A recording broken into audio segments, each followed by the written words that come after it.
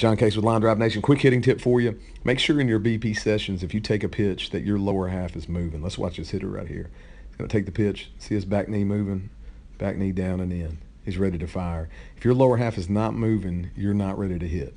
Next pitch, green lights on. He's ready to go till he sees it's not a pitch that he wants or sees that it's not a strike. And he's, he's ready to fire. And if you want to hit pitchers that throw hard, you want to hit pitchers that have great velocity, You've got to be on go each and every pitch until, until you see it's not a strike or not a pitch that you want. Hey, if you need help with your swing at all, try our online swing analysis program. It's free for 14 days. You can send your swing in to us at any time. Unlimited swing analysis. Check out all the details at linedrivenation.com.